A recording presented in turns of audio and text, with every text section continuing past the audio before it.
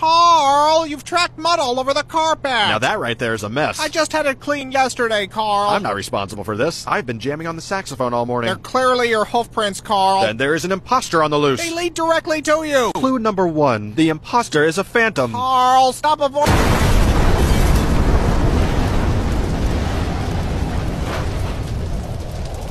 Carl! Happy birthday! It's not. Please tell me you had nothing to do with this. Why don't you blow out your candle? You've gone too far this time, Carl. What's that? It's hard to hear you over the sound of melting city. How did you even do this? A dollop of fairy dust. Carl. I ripped the tag off a mattress. This isn't funny, Carl. Who's laughing? Clearly not all the people who just exploded.